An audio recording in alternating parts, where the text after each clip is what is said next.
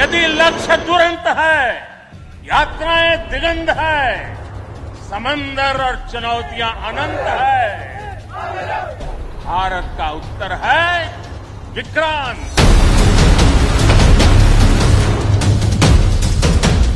आत्मनिर्भर होते भारत का अद्वितीय प्रतिबिंब है विक्रांत।